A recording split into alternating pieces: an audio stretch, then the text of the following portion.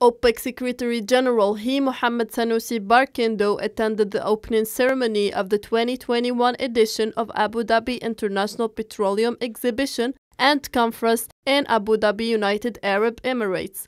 The four day gathering that started Monday is taking place in the wake of the COP26 climate talks and with energy prices soaring. The oil market Brent crude has climbed almost 60% this year to above $80 a barrel, while natural gas prices in Asia and Europe hit record highs recently.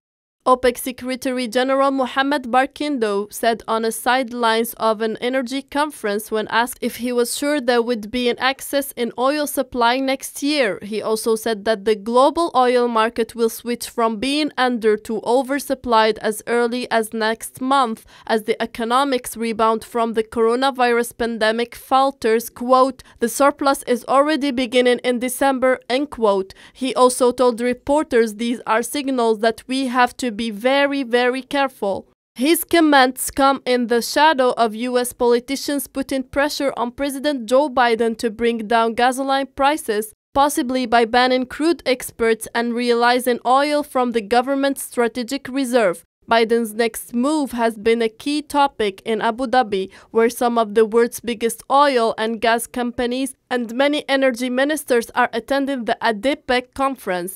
The outlook means OPEC is justified in only raising production gradually, according to Secretary General Mohammed Barkindo. The comments are another signal that OPEC and its partners will continue resisting US pressure to pump faster and will stick to their strategy at their next meeting early next month.